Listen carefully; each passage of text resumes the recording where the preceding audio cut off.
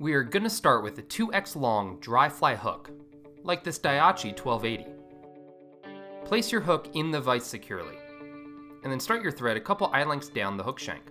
Then bring your thread all the way back to the start of the bend of the hook. Now measure out some 2mm fly foam to about your hook gap length. An easy way to do this is to score the edge with the hook point. Then cut it with some long scissors, as straight and as even as you possibly can. Then cut a very fine strip of white, or some other easy to notice color, that we will use for an indicator spot.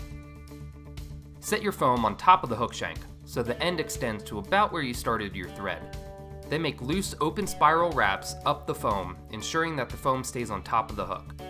After the foam is on the hook, then you can come back down it with tighter wraps to secure the foam tightly.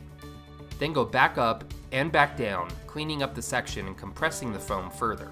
Now we will dub on some ice dub. I am using the peacock color. Traditionally these are tied with peacock herl, but I find peacock colored ice dub is more flashy and provides a more buggy look. It is also more durable and less expensive to use. You want to dub this on fairly tightly, but also make a long noodle to be able to fill up the hook shank with thick wraps of dubbing. Now proceed to wrap the dubbing up the hook making it thicker in the center of the hook and tapering off at the ends. And you can add more dubbing if you need to.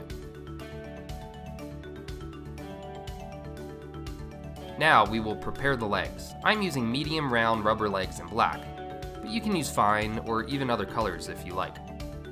Cut the long strip in half and then in half again, leaving you with four even pieces. Then fold one of those pieces in half and then half again. Tie that in perpendicular to the hook shank. You can achieve this with two wraps over them, then two wraps over them in the opposite direction forming an X on top of the legs. And this method is called X wraps for a good reason. Sorry my fat fingers are in the way, but after you make your X wraps, then pull the legs rearward and make a few tight wraps in front of them to keep them locked into place. Pull your foam forward over all the materials and pull the legs rearward. Then make a few wraps over the foam, increasing the tightness with each wrap until it is locked into place.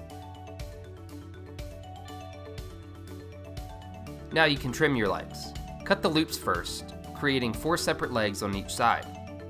Then cut the legs to length. I generally like to keep them about the same length as the beetle's body. Then place the white foam on top of the black foam and tie it in with a small tag sticking out forward. Then cut off the weights of the foam close to create two equal portions. Pull back the foam rearward and make a few wraps underneath it. And then whip finish your fly under the foam. Now I'm not sure why I didn't do this here, but it's much easier to whip finish if you pull all the foam back while completing the whip finish. Oh well, you get the idea hopefully.